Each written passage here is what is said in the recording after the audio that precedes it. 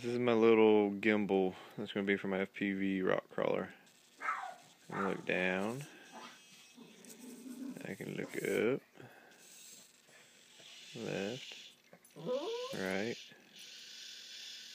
360 degrees.